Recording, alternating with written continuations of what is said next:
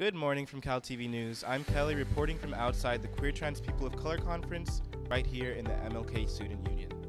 The Queer Trans People of Color Conference is an annual and popular event among Californians and intersectional LGBT members from all around the states. And what makes this event so popular?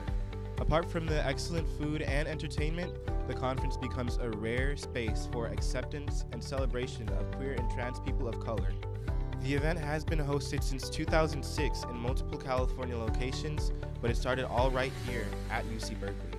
So today I really just spoke about the powerful, long reaching resistance and resilience of trans folks of color, queer folks of color, um, and marginalized communities in general.